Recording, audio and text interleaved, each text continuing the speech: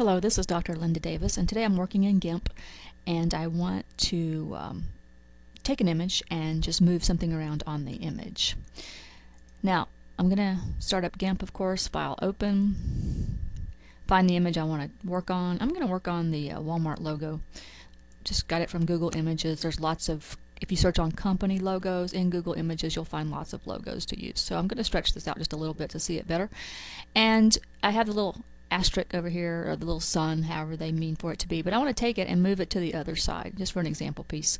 So um, let me start off with my rectangular select tool in the toolbox, right there. Okay, and then I'm going to just take the asterisk, or the sun. Um, if I find myself a little close over here, I'm just going to position my mouse and pull it over just a little bit more. Doesn't have to be perfect, but close enough. And then I want to go up to Edit and Cut, which is Control X and go back up to edit and select paste as new layer. So not regular paste but paste as and then go down to new layer. And it just plops it anywhere along in here. It's up to you to move it to where you want it to be. So go up to move the move tool in your toolbox. Select that. And then you can grab and move it wherever you want it to do. And for our purposes today I'm just moving it to the other side like that Okay, now uh, let's get some of these um, select boxes out of here. So I go up to select and select none, gets rid of that one.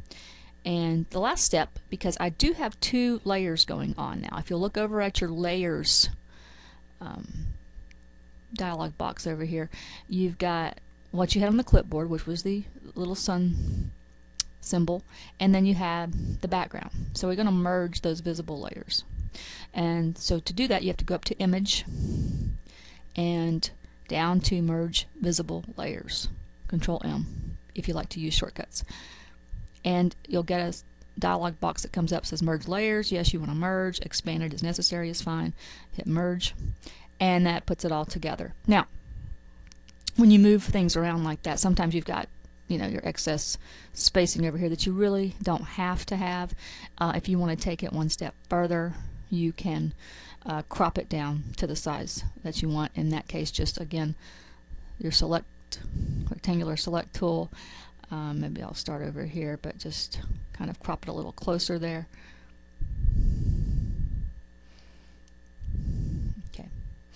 And then I'll go up to image and down to crop to selection which just tightens it up a bit. Okay, so there's actually two different things going on there. We were moving items around and we were also cropping it down. Hope that helps you in your pursuit of GIMP skills.